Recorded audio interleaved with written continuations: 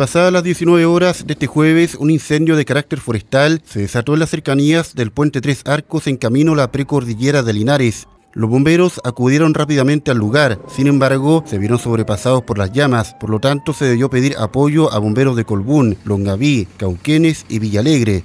Sin embargo, esta última unidad al llegar fue redireccionada hacia el sector No Amanecer, en donde de manera simultánea se desarrolló un incendio estructural.